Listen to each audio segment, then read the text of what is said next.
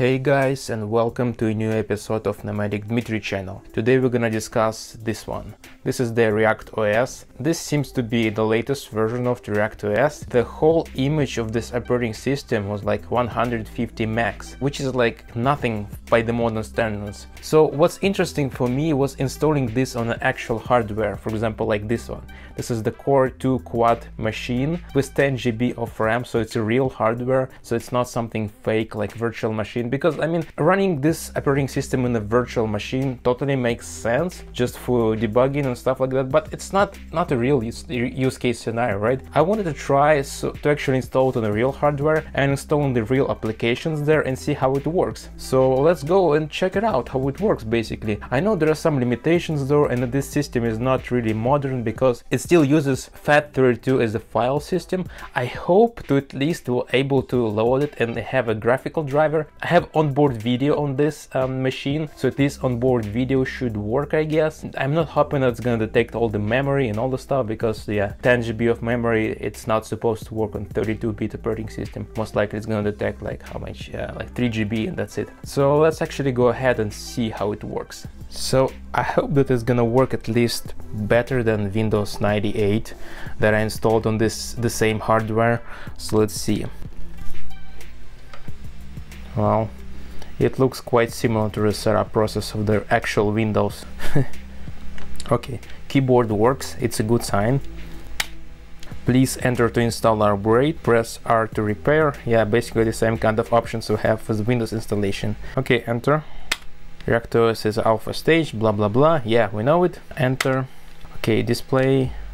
Yeah, I'm gonna leave this display. Okay, let's try that with this setup this is the hard drive I have so I'm gonna select this one. Okay and it has option to format it as a BTRFS or and FAT. Well I'm gonna use FAT because it's more compatible although with such a with such a large hard drive using FAT is not really a good idea because of the limitations of the of the file sizes. So let's try that. Yeah let's try FAT. Enter. React OS Oh, you see it copies bunch of wine files basically since as far as I know it's based on wine it's used some some things from wine so that makes sense. I mean all the file names also like really similar to Windows ones. Okay, I'm gonna install the bootloader right here. It's good that it asks to install bootloader or not, it's good. Windows doesn't do that. Okay, I'm gonna select React OS, this version. Installing devices. I'm making it so fast, it's just like 100 max the whole system, right? So that's why it's just like so blazingly fast. No, it's a good sign. At least I, feel like it's it's better than what I saw on with Windows 98 because Windows 98 was totally missing out on a bunch of stuff. Let's hope that at least gonna set up something. Okay, so I can see the GPL license here. Cool. Okay this one is gonna go default. Let's try.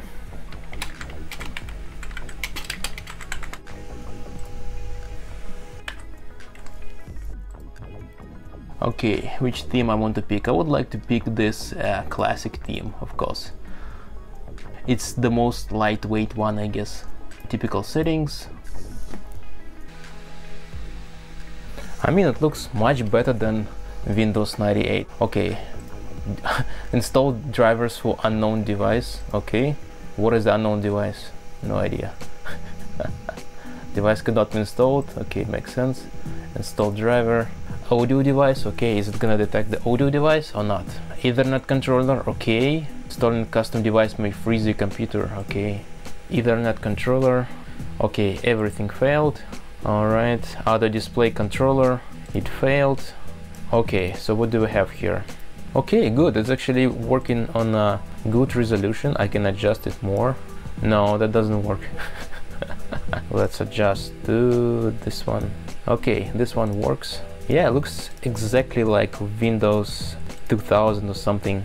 Let's see, performance, that's good. How much memory does it detect? My computer properties, Yeah, it only detects 3 GB of RAM, which makes sense because it's 32-bit operating system. All exactly the same, like in, mm, like very similar to Windows 2000 or something. Okay, performance.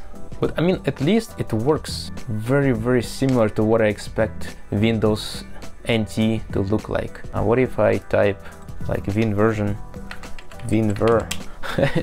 it shows ReactOS version. Okay, and then what if I type something like services MSC? Okay, this one is not found. Well, how to set up the services actually in the ReactOS then? Control panel, where the services allocated? Game controllers, console. And what console is actually? It's not a MS-DOS, it's not an emulator. What is actually is a console? Command prompt, okay. Dear.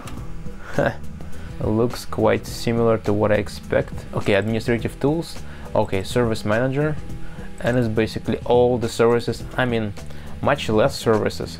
And it also has a service called Theme Support, which is supporting themes on Windows. And um, my network places, okay. It's all what I expect. Okay, what kind of programs we have here?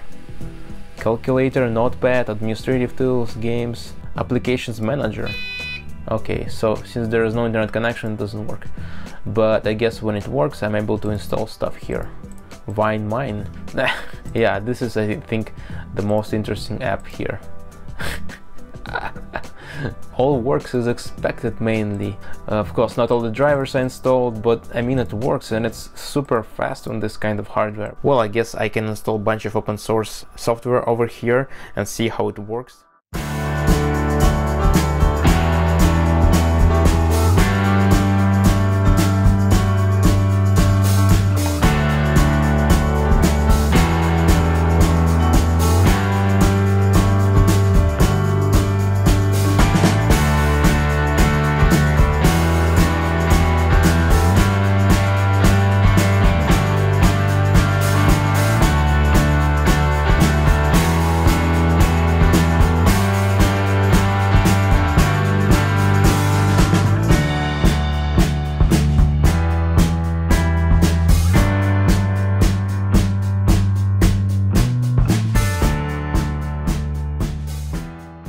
Thank you guys for watching this video. Please subscribe to my channel and press the like button if you like this video. And ReactOS is it's not that bad. I mean, it's not supposed to be running on a real hardware, I guess. It was designed probably mostly for the virtual machine, but on the real hardware it works if you are actually willing to adjust to some instability of this one because like device drivers, I'm actually pretty sure it's possible to install device drivers from the real hardware, like Windows device drivers. I'm not sure, but probably it's gonna work in, in some cases and other other cases not. So it's usable, but it's all alpha and I do not recommend using it as a main OS.